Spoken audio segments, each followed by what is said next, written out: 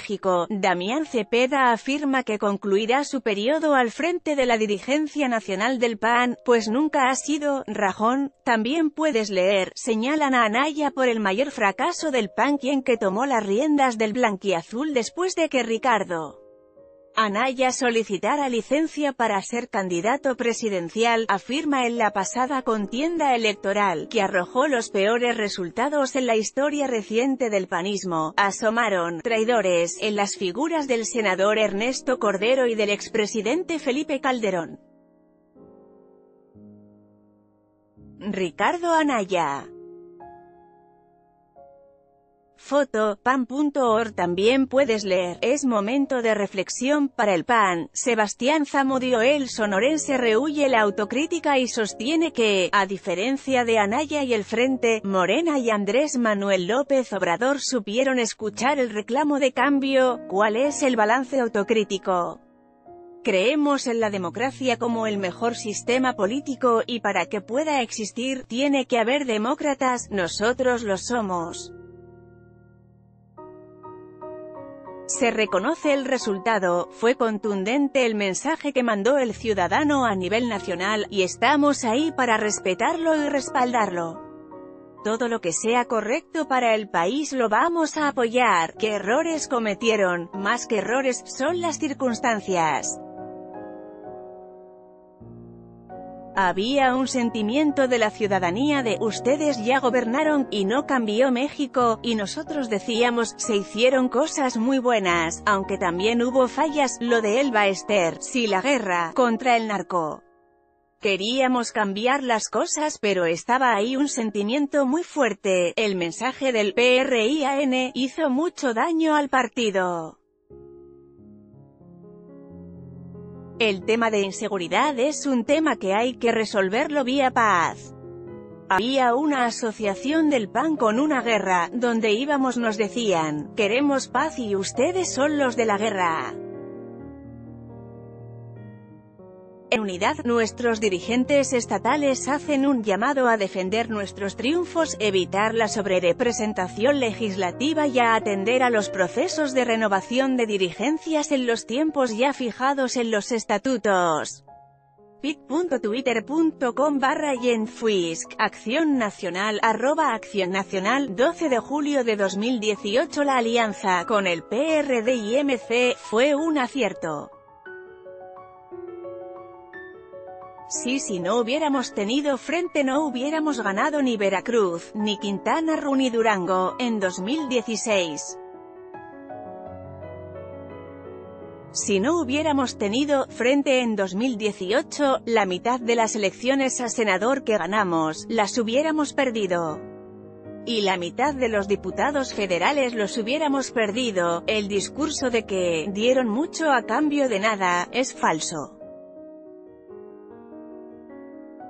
Hay cinco distritos en el país que hubiera ganado el PAN solo y no los ganó porque los cedimos a alguien más y, a la inversa, hay 14 distritos que el PAN hubiera perdido si no hubiéramos ido enfrente, fracturaron al PAN con la alianza.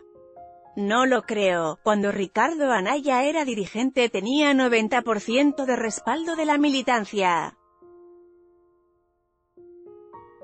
Entiendo que una cúpula plurinominal, que venía del grupo que tenía el poder y que luego lo perdió, estuviera quejándose, pero 90% de la militancia respaldaba a Ricardo.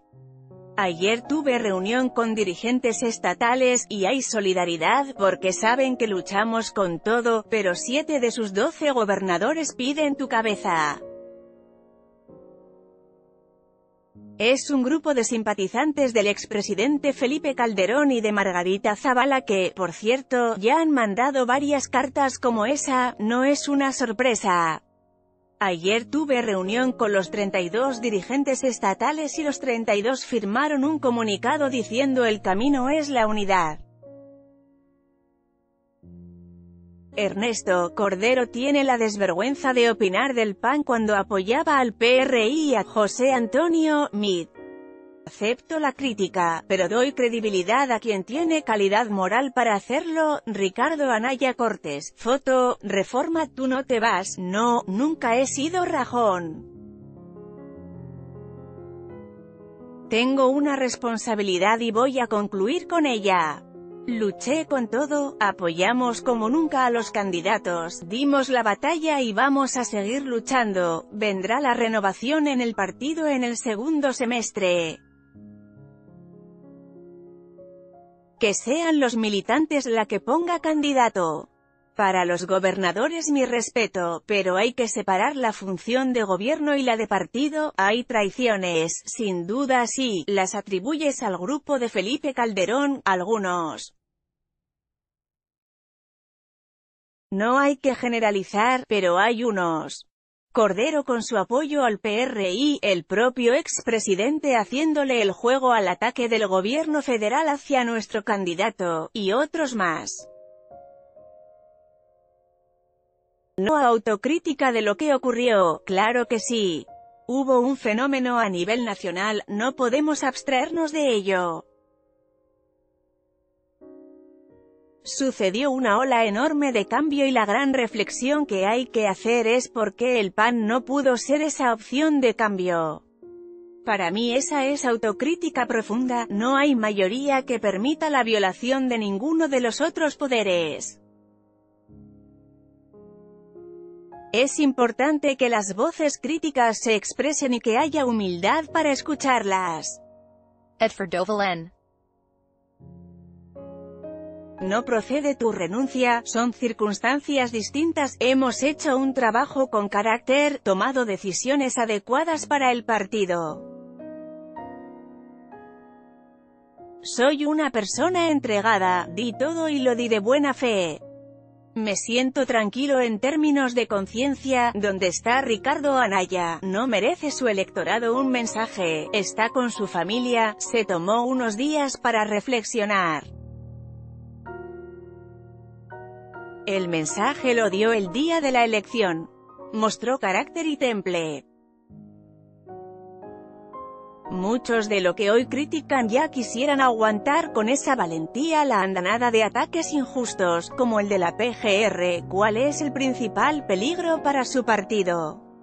El PAN tiene que hacer una reflexión profunda y recuperarse rápido, levantar cabeza. El peligro es no hacerlo, quedarnos en los ataques entre nosotros y no tener capacidad de ser esa oposición que México requiere, querernos acomodar es un esquema de negociación con el gobierno federal. Sería terrible para el PAN. En esta nota, Partidos PAN Damián Cepeda